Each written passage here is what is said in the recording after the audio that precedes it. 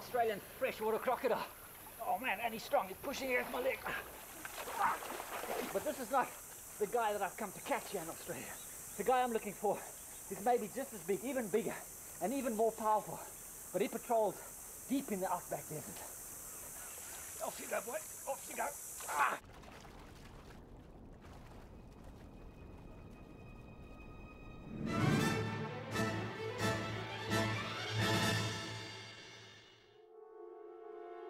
Ever since I can remember, I've been interested in dangerous and exotic wildlife. But for the past 10 years or so, I've earned my living from photography. Traveling from my home in southern Africa to the ends of the earth to photograph some of the rarest and deadliest creatures in the world.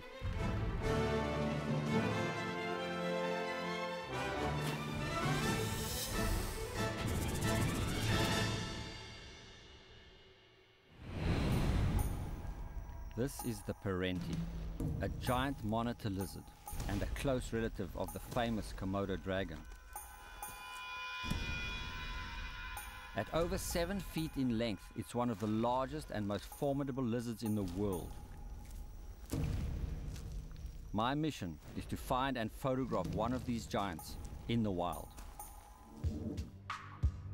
Perentis occur only in Australia's arid desert interior, the outback.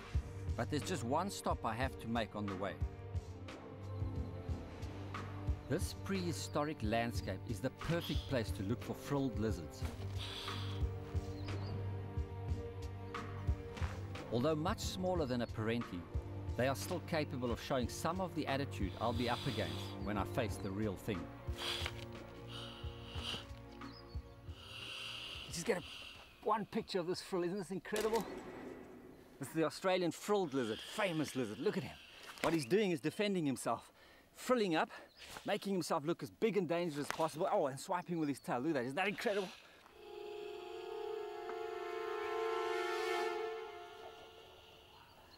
Got rows of teeth in that mouth too. You don't want to get near that mouth. Got yellow interior. Hisses and blows at you. Gives you a warning. Says, get away. Otherwise I'm going to let you have it. Wow. With a tail again. In many ways, this is very similar to the giant Perentis lizard that I'm looking for in the outback Australia. It's much, much bigger than this, but it also has a threatening appearance. It hasn't a frill like this, but doesn't need a frill because it's got a massive body, big nails, big thick neck, big mouth. It's a lizard I'm gonna have to be wary of. It's probably about two to two and a half meters long compared to this guy. Yeah, this guy relies on shock tactic to actually defend himself. Isn't that fantastic? These guys are mostly insectivorous. They haven't got such powerful jaws, although if you look inside, you can see the teeth, and he's got this tongue that he's pushing forward all the time. He can give you a nip, but if a Perentis were to get hold of you, would probably take your finger off, no question about it. Completely different thing. This is marvelous. I didn't expect him to stay, because if these guys get to a tree, they run up a tree. But this guy now has decided that he's got, he can't get away. There's no trees within range. I'm in this fantastic area with all these termite mounds, magnetic termite mounds, and he just couldn't get past here. If he gets to a big tree and he goes up, then I've lost him for sure. So this is my perfect opportunity. Look, look at this. Look at that. What a pose. In your face. There we go. Whoa! There he goes. Oh. And, and he's threatening me. Look at this. He says, I'm coming to get you, boy. I'm coming to get you. Ah. Oh, this is how there wasn't a tree, so I'll just take hold of this guy. Even the ant will be okay. Oopsie, come, come up, there we go. Just mustn't let him get those claws into me or, or the mouth. There we are. He's not too bad tempered. There we go, taking a liking to the camera. Look at that. Oh, he wants to take a bite. He nearly took a bite of the camera. Isn't that fantastic? That's amazing. That's amazing. I mean, I know, I've read about these guys, you know, and I know you have to run like mad to catch them, and they usually get away. But to stand and face you and show the frill, that's really fantastic. They actually have cartilage inside the frill, rows of cartilage which actually cause it to flare out like that. But normally when he's not doing that, when he's not in danger, then it's completely flat and he looks just like any other lizard. But they run really fast and they stand up on their back legs. They actually go bipedal. They can run at a terrific speed. Now the Perentis lizards that I'm looking for probably don't have the agility of this guy. But if I did tackle one of them, I think I'm going to have a wrestling match on my hand. All right, now look at me. I'm to put him right down where I had him. Put him right back here and see if I leave him alone and he can go off on his own time. That little guy was fantastic. I just hope I won't be the one needing to make a run for it when I finally meet up with a giant perenti. I'm driving into the Australian outback on a quest to find and photograph the Perenti, one of the world's largest lizards. A couple of years ago, I actually toured Australia photographing reptiles. At that time, I was concentrating mostly on snakes. While I was here, I was astounded by the amount of lizard species, how different they are, how exotic, beautiful stuff, different completely to anything else I've seen in the world. I told myself at that time, I promise I'm coming back, and here I am at last. And this time, I'm on a mission. Main lizard that I became interested in last time was the giant Perentes monitor lizard. And they prowl out here in the central Australian deserts. And I've decided to put all my priority into finding this lizard, getting close to it, photographing it.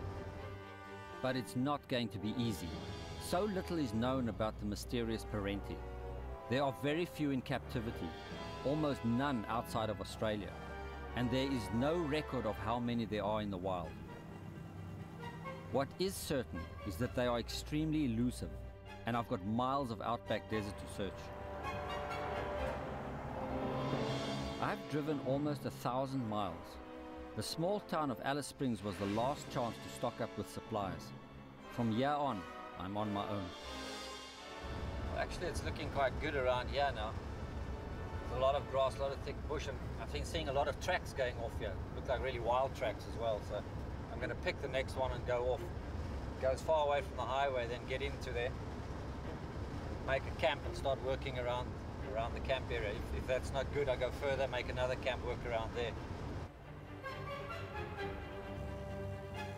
So I leave the relative safety of the black tar and take the red dirt.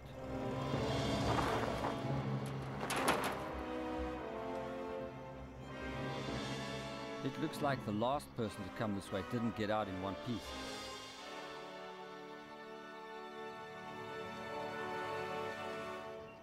About three hours off the highway and into the Outback's red center, I decide it's time to make a base. The fold-out tent on the roof makes it quick and easy to set up camp. It also keeps me well away from snakes. For once, I'm not interested in them. My mission is to photograph a giant Perenti. But with so much ground to cover, I'm beginning to think I've got my work cut out.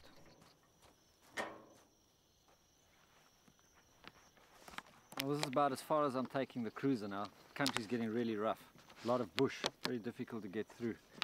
But that's why I brought the bike. Take the bike now, I can cruise anywhere. I can get between trees, over rocks, everywhere I want to go. It's not a problem. Bike's the answer. Taking enough stuff with me too just in case just in case I decide to stay overnight or something like that. And then I've got enough stuff. I've got my camera in the bag. I've got all this. I've got my snakes. As long as I've got my snake stick I'm happy there are more venomous snake species in the outback than non-venomous. I'm impatient to see a real Perenti in the flesh. But it soon becomes apparent that finding one isn't going to be easy. As I head deeper into the outback, all I'm discovering is why this desert is known as the Red Center.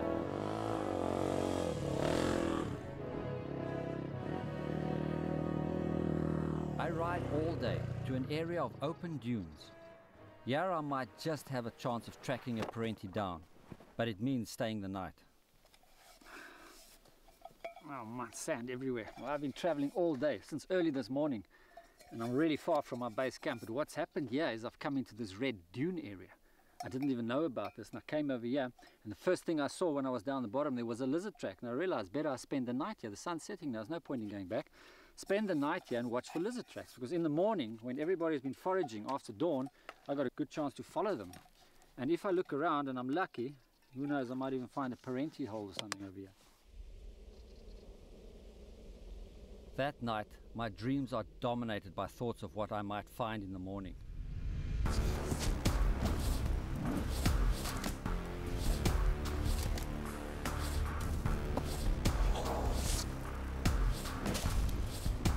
With a powerful tail lash, strong claws and a vice-like jaw, They have a fearsome reputation, and I'm going to try and tackle one.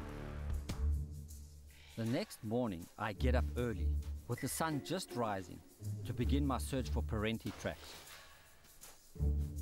At this time of day, the tracks show up clearly, and everywhere I look, there's evidence that this inhospitable place is far from deserted.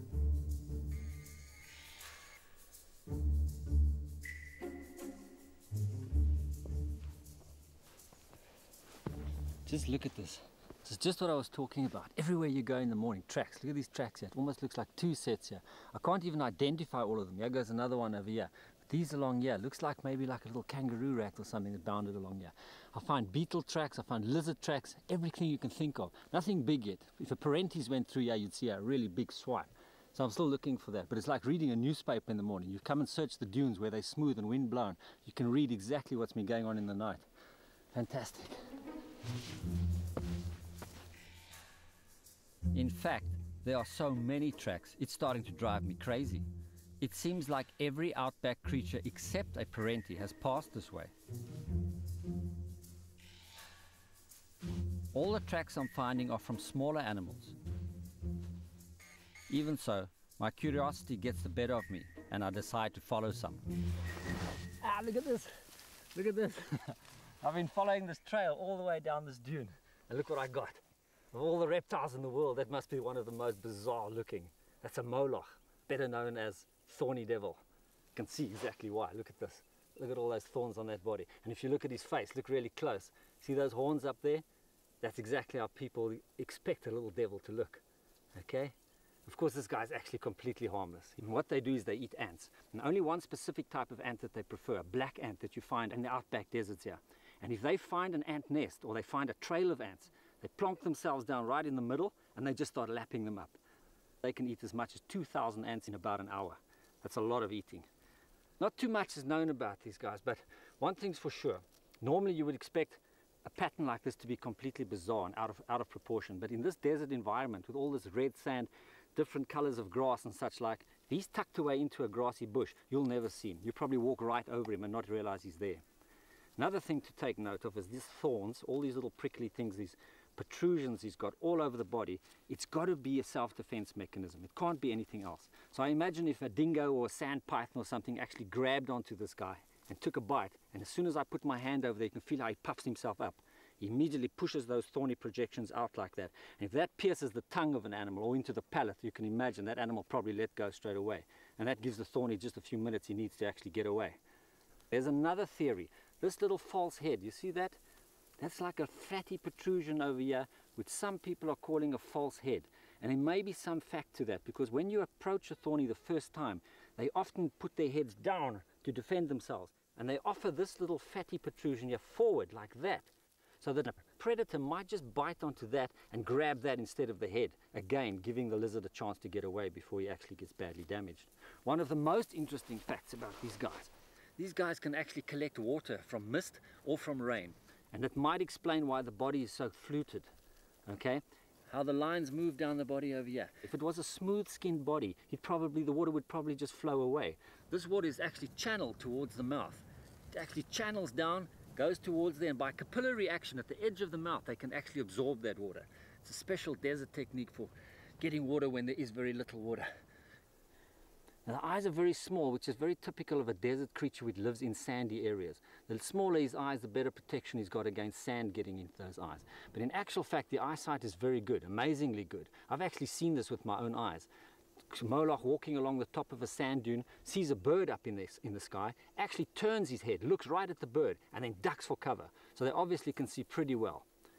I wonder if it's a female. This could just be a female. I'm looking how fat her tummy is. She's either eaten a million ants in the last hour or so, or she's got a couple of eggs in here.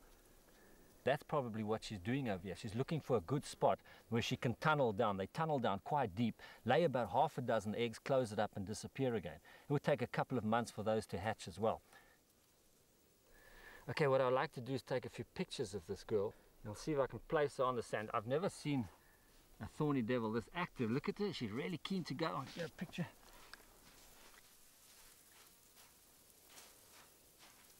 See if I can do a bit of this. Don't disappear on me. Look how fast she can move. You wouldn't expect an animal like this that's so stockily built to be able to move so quickly. Come straight towards me. Come on, there we go. One super picture. That's my girl.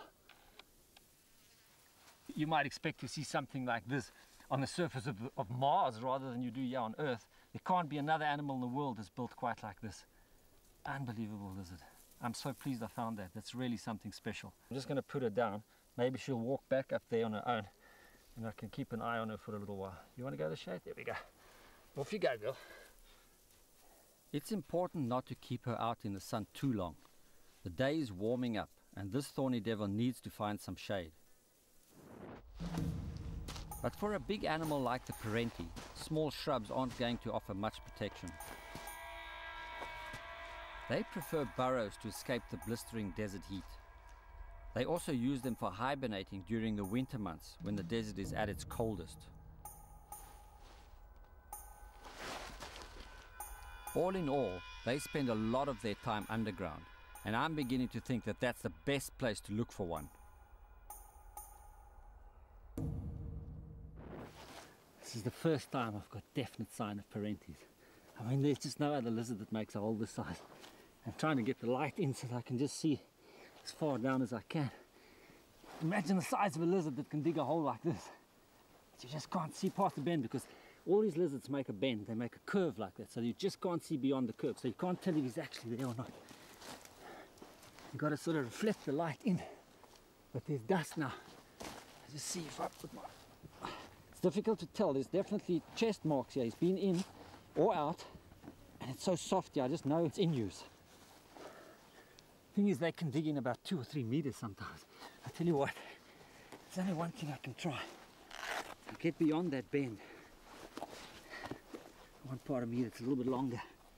And it's not, not a very clever idea actually, but you know what they do? They they jam themselves out and they stuck there. If I feel feel its body, I just hope that his mouth is not there.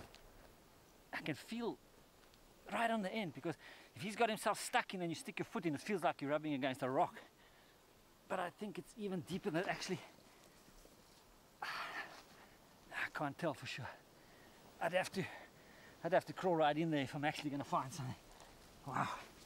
Let's just see. Pull. Man, I can almost get in here. Ah. Ah, no, wouldn't be wise. If he turned around and grabbed hold of me, I'd know all about it, that's for sure. If Perentis grab onto that don't let go. Like all monitors, they grab, they hold on. So, best thing I can do is stake this place out and keep an eye. Maybe he comes in and out. Okay. I'm convinced that I found my Perentis hideout. I'll wait as long as it takes to get a photograph. I've found the lair of Australia's giant Perenti lizard. Now it's time to get a photograph. With no time to lose, I fetch my vehicle and set up camp. Perentis can spend long periods of time underground, so I'm preparing for a lengthy stakeout.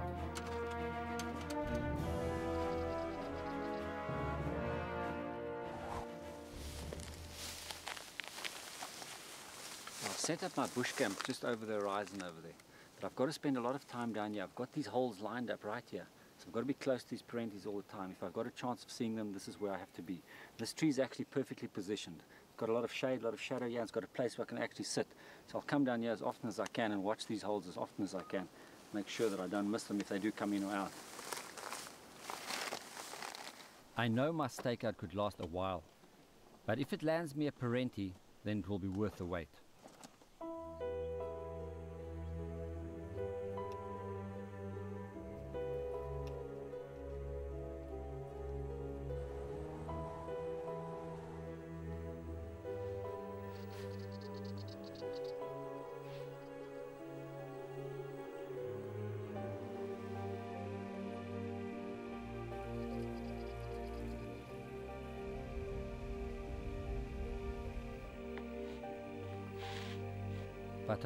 Week passes with no sign of the giant lizard. My surveillance operation is not going according to plan.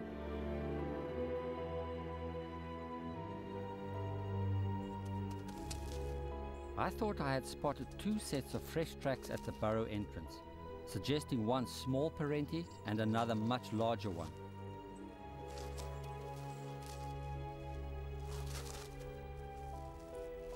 Perentis are usually solitary creatures, but there could be two in there.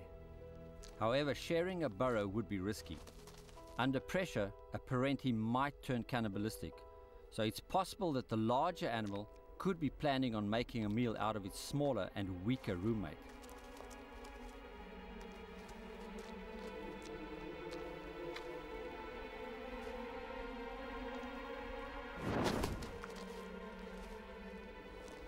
After such a big meal, who knows when the victor might come out again.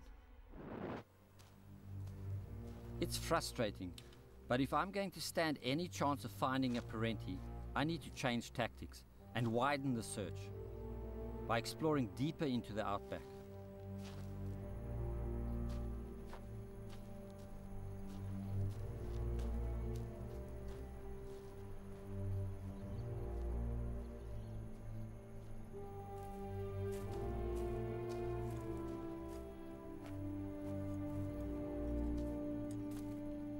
Making ever widening circles around my camp, I scan the desert floor for other burrows or any sign of tracks. But it's only when I raise my eyes from the ground that I finally spot something.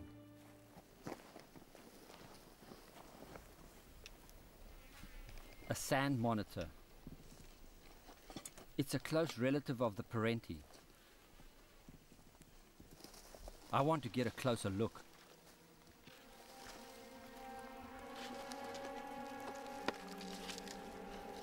Uh, there he goes. I was hoping to sneak right up onto him, but he's climbing. Ah, I got him. I got him. Oh, he's strong. Come on, let's go, let's go. Okay, I got him. Yeah. Oh, I got him. Look at that. ah. Isn't he a beaut? That's a sand monitor. There's lots of them all over the place. Yes. And I saw him right down there and he took a break for it. Usually they've got holes and they go down the hole, but if he can't get to the hole, like a shot up in the tree. And I thought maybe if I'm lucky and I get up there, he hasn't got further to go, I can get him. Look at this, guys. Much like what I'm looking for, like a Parentes, but of course much smaller. Parentes maybe, I don't know, five, six times bigger than this. But look at these claws already. Now imagine a Parentes with claws six times that big. I'm going to have to watch out. And all these guys, even these little ones, they got big teeth. You can't get your fingers near there if he opens his mouth. Rows of teeth. I think he's mad. Look at him. He's puffed up. He's, he's a male. Oh, he's a male. And he's really mad. He's puffed himself up. Look at his body. It's like a balloon. He's angry. He's saying, let me go. Let me go. I want to get at you. I'm just going to put him back in the tree. Leave him up there and see what he does. You're going to go back, boy? Parentes, if they're hunting and they come across a lizard like this, they'll actually eat these guys. Parentes will hunt them down and eat them. If I let go, yeah, he's to shoot away. You ready to go, my boy? All right, watch. As soon as I let go, he's to rocket out of this tree like a shot. You ready? Off I go. Wow, where's he gone? And there he goes. and he's gone. Did you see that? Did you see him move? He's like greased lightning, man. If I didn't get him in the tree, I would never have got him. Now, Parentes moves like that as well, so I've got to watch out or I've got to be fit or something.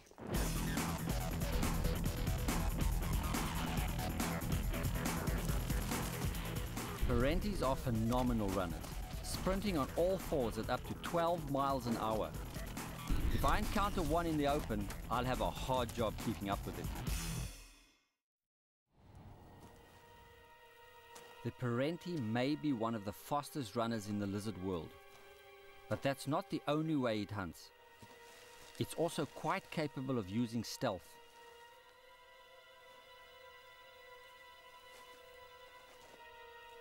Using slow, steady movements, this giant lizard can virtually disappear into its surroundings.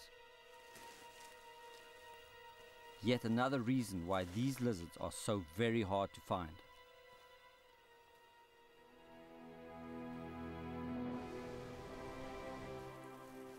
I've had no luck searching for parentes on the desert floor, so I decide to climb to higher ground and survey the area. I just need to know what my options are And that's when it hits me. Looking out at mile after mile of arid desert, I realize that I've been lucky to find any trace of a perenti at all. I could move on, but my instincts tell me to stay camped where I am. In this wilderness, The Perentis burrow remains the only shred of hope I have.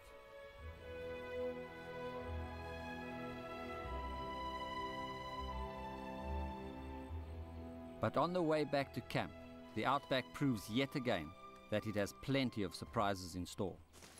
Ah, you won't believe what I found here. I've got him. I've got him. Oh, he's resisting a little bit. Are you puffing at me? Oh, look at this guy. Oh, look at that. Isn't he gorgeous? Come on. This is an Australian black-headed python. Oh, you can see why it's called that. They're one of the most gentle pythons. There's nothing to worry about usually. I don't think if I even put my hand close, he's not worried about trying to bite. Oh, but I look at this. Look at the eyes. He's actually going to shed his skin. When a snake's going to shed his skin, always gets a layer of fluid in between the old skin and the new. And of course, he's got skin covering his eyes as well, so there's fluid in there as well. As soon as that fluid clears up, then the skin's ready to come off. And this guy's starting to look clear. Soon he's going to be shedding his skin, which might be the reason for him parked over there, settling in there, getting ready for that skin to be shed. Here's another reason that I'm looking at this because this is a fig tree. This is something that, that I've read about before that I'd never actually seen. These snakes might settle themselves down under this fig tree because they know the berries are coming on the fig trees. You can actually see berries there now. They drop off onto the ground. They attract insects, they attract birds, they attract mice, all kinds of little creatures. And all this python has to do is actually sit there and help himself as these animals come past. He can feed on them. So it's a really good place for him to park out. You know, pythons have got spurs. Those are vestigial limbs, you know. Pythons are primitive snakes and they have rudimentary pelvis arrangement of bones inside here still. Those little spurs are just the spurs covering the edges of what used to be legs at one time, in other words. Very small in this case. I'm going to stick him back there. Let me just unwind him a bit. Oh. I mean, I've only read about these guys, and I know the pet trade they're big demand in the pet trade, and of course they're protected by law all over the world. You're not allowed to have these guys. So it's very well that I leave him here, tuck him away, get him going back in there. Such a gorgeous boy. Okay, that's great. That's really fantastic. I'm so pleased about that. My first black-headed python. Coming across that python is just the proof I need that it's possible to find all sorts of reptiles here. And it's given me an idea. The python was drawn to an area where there's food. So what would happen if I tried the same tactic with a lizard? If I can't get to a perenti, perhaps I can get a perenti to come to me.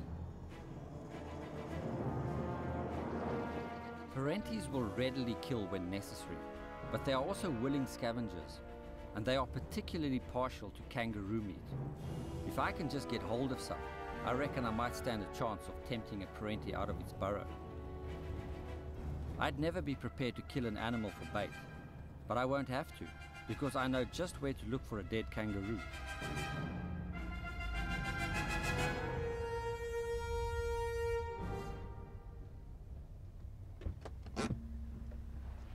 Kangaroos are one of the few animals that don't stay away from the highways. Consequently, they have a lot of run-ins with motor vehicles, literally. Every year, thousands of kangaroos are killed by cars in this area. But a sad end for the kangaroo will hopefully provide a perenti with a meal, and me with a first-class photo of this elusive lizard. With the dead roo on the hood of my vehicle, I set off back to camp.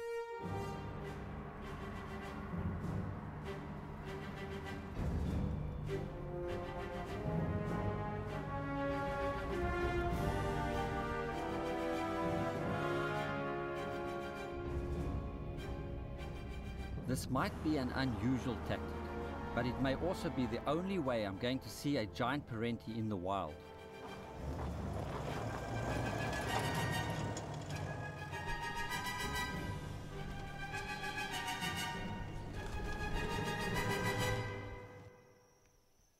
I take the carcass back to the burrow.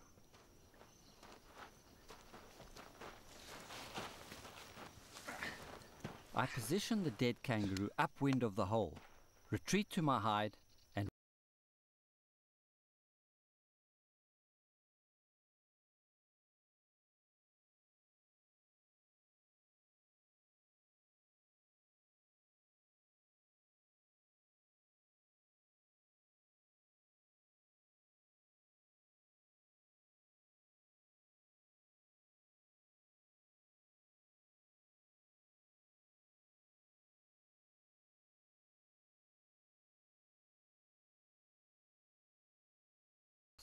and my plan to lure the Perenti out of its hole still isn't working. I can't understand it. In the searing desert heat, the roo carcass is really beginning to stink, a smell that should be irresistible to a Perenti. If there's no action tomorrow, I'm going to have to come up with another plan. But I'm fast running out of ideas. This is turning out to be one of the most demoralizing photographic missions I've ever been on. The next morning brings a nasty surprise. I can't believe this. I mean, I've been staking out this place for about three days now. I found this roo, I brought it, but I put it right up on the bank. I thought if I keep the guys close by, I don't make it too obvious, I'm near the hole, I want to see these guys going in and out. And I find this today, it's been pulled right down, pulled into this, into the sandbank. I can't believe it. You know how big an animal's got to be to do this? First I thought maybe there'd been dingoes or something around, but there's no tracks. I find just Perenti's tracks everywhere in the sand over here.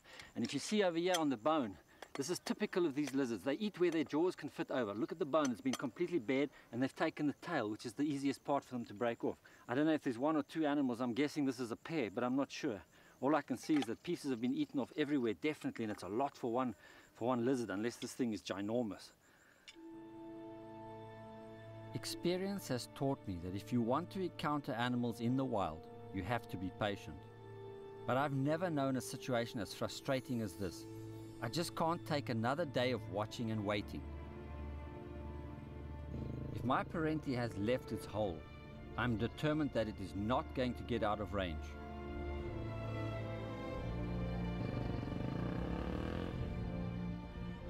Although the noise of my bike might alert my quarry, at least I'll have a chance of catching up with it.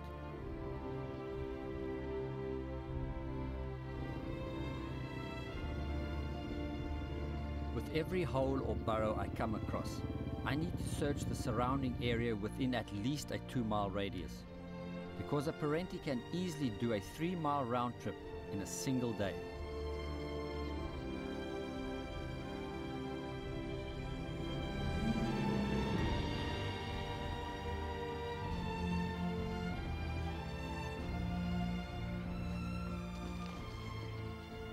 These holes are abandoned.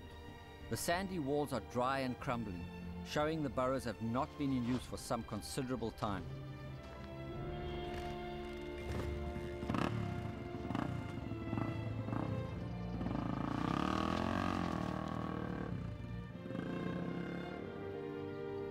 Once again, I'm struck by the enormity of my task. I am, quite literally, going around in circles. But my search for the Perenti has become an obsession. Somewhere out there, that giant lizard is waiting for me. After a month of searching for the giant Perenti lizard in the vast wilderness of the Australian outback, it's now a question of what's going to run out first, my patience or my supplies. Either one could be dangerous.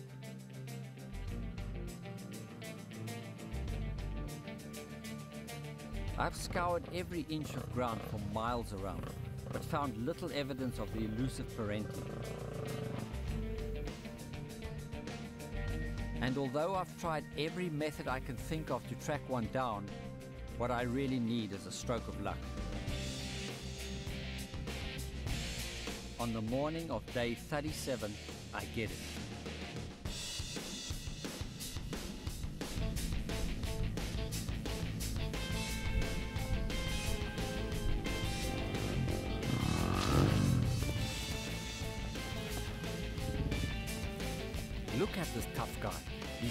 Broken step, and I'm having to sprint to catch up.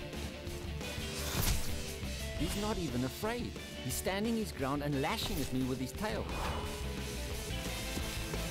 Ah, I've got him. Ah, he's got my foot. Ah, God, he's got a powerful jaw on him. This is the most powerful lizard in this. Ah, he let go. Thank goodness. Look how he's ripped my boot. That's incredible.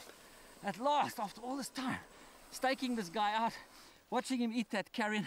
And that's one of the reasons you mustn't get your hand in there. There's a lot of bacteria in those teeth, and if he bites you, a lot of blood poisoning. They're incredibly dangerous. Have a look on my leg here. The size of those claws actually hanging on to me. So I'm keeping him off balance. I'm just keeping his body off balance. That's the only trick you can use. Keep him off balance so that he can't get. If he turns around, faces me, and be let rip, and you weren't holding on to him, and he could be free to move, you're going to rake those claws across you, and really be bad. Get all those claws in. Look at the size of that claw there, that center one. There we go. He's a real old boy as well. It looks like a piece of his tail is missing as well. I think he's been in a lot of wars. Well, you see now this tail obviously long ago broken off. That's well healed. But it probably was another foot longer on there. They use their tails to defend themselves and they sometimes beat with that tail and might do that to me when I try and take pictures of him. So what I need to do is get my camera because I've lost my bearings completely. I, somewhere near my motorbike is where my camera is lying and I want to take photos of this guy. And then maybe I can demonstrate exactly how powerful he is and what he'll do with this tail. Okay, I've got him. If I got him like that, I got my shopping handbag. While I've got hold of him, I've got control. It's what happens when I put him down that worries me. Will he allow me to take a photograph? Picked up my camera. I'm looking for a good place, which I see just over there, clear spot where I can try and get the pictures I need. But he's really getting agitated now. And I've got to put him down really carefully, otherwise he's going to take off like a shot and I'm going to lose him again. This would be as good a place as any. And I've got him slightly raised here, which makes it good for photography. But these guys are so tremendously powerful, you don't know what to expect next. You see, the trouble is once I've let go of this head, I've got no chance of grabbing it again. Because he's to let me have it. These necks are so long. These guys are like the old prehistoric raptors, like the dinosaurs. Okay, we're to do this now. I'm to let him go and I'm to try and slowly move back and let him keep the concentration on me. That's it. That's it. Okay. That's the pictures I'm looking for. All right. Watch that tail. Let's see the tail. Oh, we go. Okay, so he's warning. This is fine. This is fine. This is the only lizard I know that will actually turn and lunge at you. He has no fear of humans at all. He's absolutely fearless. There we go. Keep it up. What a lizard. And he's thinking, can he go or can he face me? Ah, ow, right across my lens. That's that way. He wants to walk away now. And usually what they do is they start moving away slowly like that. But he's just holding it. He's not sure now. Now, see, this guy's actually shedding his skin a little bit. They shed their skin in little bits and pieces. So you can see he's got two tones here. Dark patches and the light patches. The new skin all over there and the dark patches over here. This skin has still got to come off. Ah, okay. Look at that jaw. You can bring that jaw right around. Look at that. Man, I can see right down his throat. Ah. Okay. He's actually standing for me. This is fantastic. Ah. Okay. Got to be careful with that because when you're so close to his tail, yeah, he can turn and as easily grab you there. Another interesting thing about these guys, they're snake eaters. Like I said, they'll eat anything. But very interesting is that they'll take brown snakes and stuff that they get around here. And those snakes can actually bite them and give them a lethal dose. And actually this lizard is highly immune, highly resistant at least to the bites of those snakes. So he can swallow down a highly venomous snake with little problem at all. Okay, I can do one or two more shots before I let him go. Because he's getting a bit agitated, but he's, he's hissing beautifully. Yeah, that hiss takes in the lungs and forcibly exhales, lets it all out.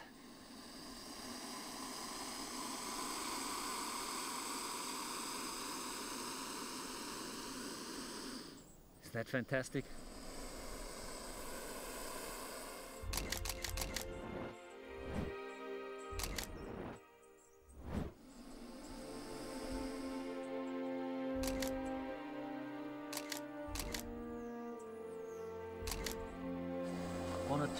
Shots. Unbelievable lizard.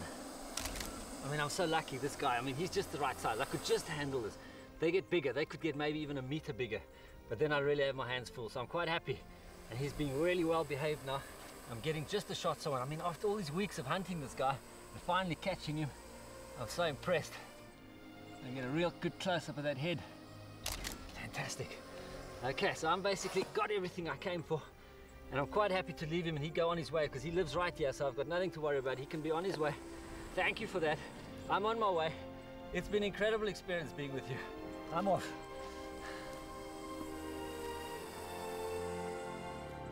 Success. I came to Australia with a mission. and I've achieved so much ah. more than I ever thought possible. I've encountered some fascinating lizards, from the dramatic frilled lizard in the north to the bizarre thorny devil right in the heart of the outback. It has been an adventure that I'll never forget. And nothing can top the experience of finally coming face to face with a giant Perenti, one of the largest and toughest lizards in the world. I head back to the highway a very happy man.